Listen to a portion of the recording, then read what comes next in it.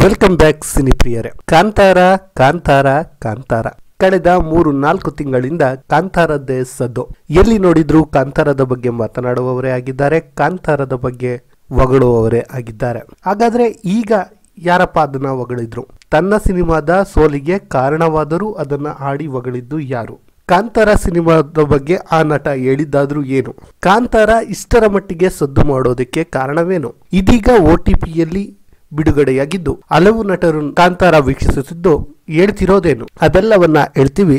ಅದಕ್ಕೂ ಮುಂಚೆ ಸ್ನೇಹಿತರೆ, ನೀವಿನ್ನೂ ನಮ್ಮ ಚಾನಲನ್ನು ಸಬ್ಸ್ಕ್ರೈಬ್ ಆಗಿಲ್ಲ ಅಂದರೆ ಈ ಕೂಡಲೇ ಸಬ್ಸ್ಕ್ರೈಬ್ ಆಗಿ ಅಂತ ಹೇಳ್ತಾ ಏನಿದು ಅಸಲಿ ಕಹಾನಿ ನೋಡೋಣ ಬನ್ನಿ. ಎಸ್ ಸ್ನೇಹಿತರೆ, ಕಾಂತಾರ. ಇದೊಂದು ಟ್ರೆಂಡಿಂಗ್ ಅನ್ನೇ ಸೃಷ್ಟಿ ಮಾಡಿಬಿಟ್ಟಿದೆ.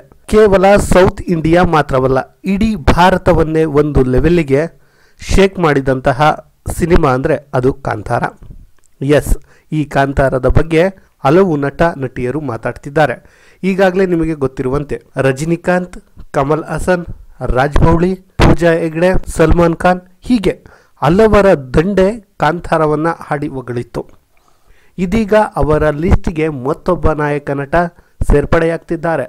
ಅದು ಕೂಡ ತನ್ನ ಸಿನಿಮಾದ ಸೋಲಿಗೆ ಪರೋಕ್ಷವಾಗಿ ಕಾರಣವಾದ ಕಾಂತಾರವನ್ನು ಹಾಡಿ ಹೊಗಳಿದ್ದಾರೆ.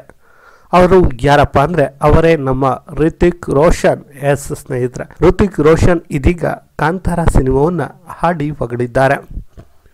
ಹಾಗಾದ್ರೆ ಋತಿಕ್ ರೋಷನ್ ಹೇಳಿದ್ದೇನು? ಋತಿಕ್ ಕಾಂತಾರದ ಬಗ್ಗೆ ಏನು ಹೇಳಿದ್ರು? ಹೇಳ್ತೀನಿ, ನೋಡಿ. ಇದೀಗ ಎರಡು ಒ ಟಿ ಟಿಗಳಲ್ಲಿ ಕಾಂತಾರ ಸಿನಿಮಾ ಬಿಡುಗಡೆಯಾಗಿದ್ದು ಸೂಪರ್ ಹಿಟ್ ಆಗಿದೆ. ಅದರಲ್ಲಿ ಕಾರಣಾಂತರದಿಂದ ಸಿನಿಮಾಗಳನ್ನ ಥಿಯೇಟರ್ ಅಲ್ಲಿ ನೋಡಲಾಗದವರು ಇದೀಗ ನೋಡ್ತಿದ್ದಾರೆ. ಅದೇ ರೀತಿ ನಮ್ಮ ಋತಿಕ್ ರೋಷನ್ ಕೂಡ ಕಾಂತಾರ ಸಿನಿಮಾವನ್ನು ನೋಡಿ ಒಂದು ಟ್ವೀಟ್ ಅನ್ನ ಮಾಡಿದ್ದಾರೆ. ಹಾಗಾದ್ರೆ ಆ ಟ್ವೀಟ್ನಲ್ಲಿ ಏನಿದೆ ಅಂತ ನೋಡೋದಾದ್ರೆ, ಕಾಂತಾರ ಸಿನಿಮಾ ನೋಡಿ ಸಾಕಷ್ಟು ವಿಷಯ ಕಲಿತೆ. ಸಿನಿಮಾದ ಬಗೆಗಿನ ರಿಷಬ್ ಶೆಟ್ಟಿ ಅವರ ನಿಖರತೆ ಈ ಸಿನಿಮಾವನ್ನ ಅದ್ಭುತವಾಗಿಸಿದೆ. ಕತೆ ಹೇಳಿರುವ ರೀತಿ, ನಿರ್ದೇಶನ ಮತ್ತು ನಟನೆಯಂತೂ ಅತ್ಯದ್ಭುತ. ಕ್ಲೈಮ್ಯಾಕ್ಸ್ನಲ್ಲಿ ರಿಷಬ್ ಶೆಟ್ಟಿ ಪಾತ್ರ ಪರಕಾಯ ಪ್ರವೇಶವಂತೂ ನನ್ನನ್ನ ರೋಮಾಂಚಿತಗೊಳಿಸಿತು. ರಿಷಬ್ ಶೆಟ್ಟಿ ಹಾಗೂ ಕಾಂತಾರ ತಂಡಕ್ಕೆ ಅಭಿನಂದನೆಗಳು ಎಂದು ಋತಿಕ್ ರೋಷನ್ ಹೇಳಿದ್ದಾರೆ. ವಿಶೇಷವೆಂದರೆ, ನಿಮಗೆ ಗೊತ್ತಿರಲಿ ಸ್ನೇಹಿತರೆ, ಕಾಂತಾರ ಹಾಗೂ ಋತಿಕ್ ರೋಷನ್ ರವರ ವಿಕ್ರಮ್ ವೇದ ಸಿನಿಮಾಗಳು ಒಂದೇ ದಿನ ಬಿಡುಗಡೆಯಾದವು.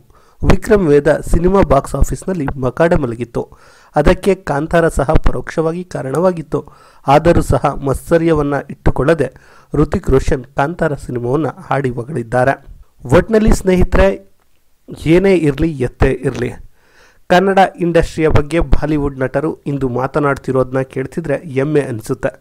ಯಾಕಂದರೆ ಒಂದು ಕಾಲಕ್ಕೆ ಕನ್ನಡದ ನಟ ನಟಿಯರು ಬೇರೆ ರಾಜ್ಯಗಳಿಗೆ ಹೋಗಿ ಕನ್ನಡವನ್ನೇ ಮರೆತವರಂತೆ ಬೇರೆ ಭಾಷೆಗಳಿಗೆ ಆರುತ್ತಿದ್ದವರನ್ನು ಗಮನಿಸಿದ್ರೆ ಮತ್ತು ಈಗಿನ ಬೆಳವಣಿಗೆ. ಹಲವು ನಟರು ಕನ್ನಡದ ಬಗ್ಗೆ ಮಾತನಾಡುವುದನ್ನು ಗಮನಿಸುತ್ತಿದ್ರೆ ತುಂಬಾ ಬದಲಾವಣೆಗಳಾಗಿದೆ ಸ್ನೇಹಿತರೆ. ತುಂಬಾ ಜನರು ಸಲ್ಮಾನ್ ಖಾನ್ ನಂತಹ ಅಮಿತಾಬ್ ಬಚ್ಚನ್ ರಂತಹ ನಟರು ಕೂಡ ಕನ್ನಡಕ್ಕೆ ಬಂದು ನಟಿಸುವ ಆಸಕ್ತಿಯನ್ನು ತೋರಿಸ್ತಿದ್ದಾರೆ ಅಂದ್ರೆ ನಮ್ಮ ಕನ್ನಡದ ಇಂಡಸ್ಟ್ರಿ ಎಷ್ಟರ ಮಟ್ಟಿಗೆ ಬೆಳೆಯುತ್ತಿದೆ ಅಂತ. ಈ ಬೆಳವಣಿಗೆ ಕೇವಲ ಇಷ್ಟಕ್ಕೆ ಸೀಮಿತವಾಗದೆ ಮತ್ತಷ್ಟು ಬೆಳಬೇಕು ಸ್ನೇಹಿತರೆ.